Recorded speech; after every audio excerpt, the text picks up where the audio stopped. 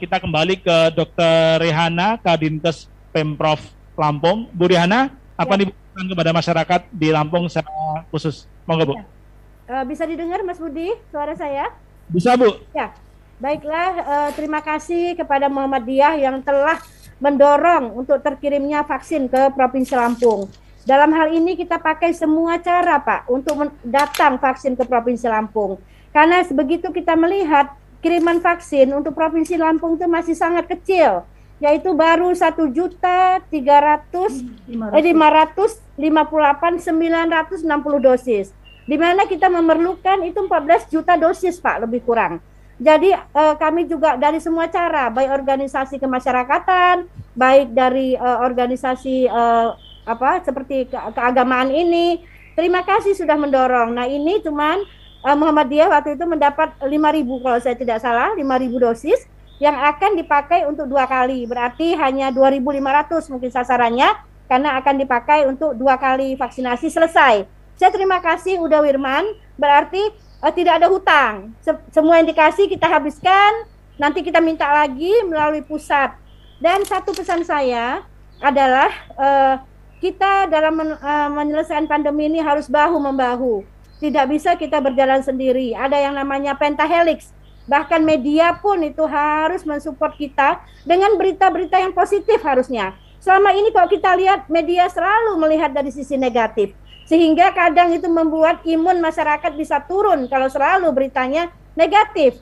Nah, kalau imun turun pasti akan uh, cepat terserang. Saya bangga ya sama Muhammadiyah dan saya bangga menjadi juga uh, dari Muhammadiyah. Kenapa?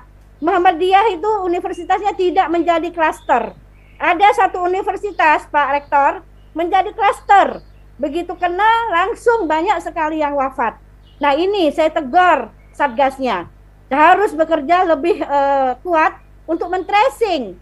Jangan hanya menerima saja yang meninggal itu.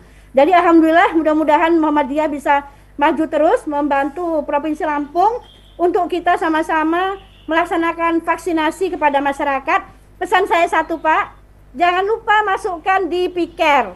Ya. Karena walaupun kita sudah menyuntik tapi kita tidak masukkan data di piker, cakupan kita tetap masih kecil. Jadi ya. saya rasa itu sudah dilakukan oleh Uda Wirman, pasti harus ya, masuk ke piker agar cakupan kita bisa meningkat. Kita sedih Pak, Provinsi Lampung ini dikirim vaksinnya kecil sekali. Sudah itu dinilai secara global. Saya pernah protes Pak ke Kementerian Kesehatan. Tidak bisa vaksin yang dikirim ke kami itu sangat kecil dinilai secara global. Berarti seakan-akan kami di Provinsi Lampung ini tidak bekerja.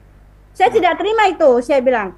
Kirimnya hanya sekitar baru eh, sejuta lima ratus lima delapan sembilan enam puluh itu pun Pak Gubernur sudah bersurat ke mana-mana ke Menko Perekonomian, ke Mendo Perindustrian untuk minta tambahan vaksin. Setelah Pak Gubernur bersurat, alhamdulillah agak lancar Pak.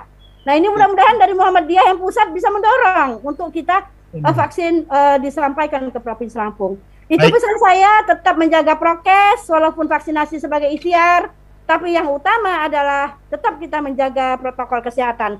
Terima kasih Pak. Wassalamualaikum warahmatullahi wabarakatuh. Warahmatullahi wabarakatuh. luar biasa ini ya. Beliau berapi-api semangat untuk membantu. Ini memang kadinkesnya luar biasa ini ya. Uh, dan luar biasanya karena beliau darahnya kader Muhammadiyah. Ya, jadi semangatnya membara begitu. Dan tentu uh, Bu Rihana, jadi ini vaksinnya 5.000 untuk uh, dosis pertama. Jadi nanti ada dosis kedua 5.000 juga sama. Jadi insya Allah karena 5.000 ini 2.000 di Universitas Muhammadiyah Lampung, 2.000 di Universitas Muhammadiyah Metro, dan 1.000-nya dibagi di beberapa daerah tadi itu. Sehingga totalnya 5.000 untuk dosis pertama, dosis keduanya juga nanti 5.000. Dan Muhammadiyah akan terus MCC Pusat mendorong Kemenkes untuk terus membantu warga kita di Lampung agar uh, divaksin semaksimal mungkin.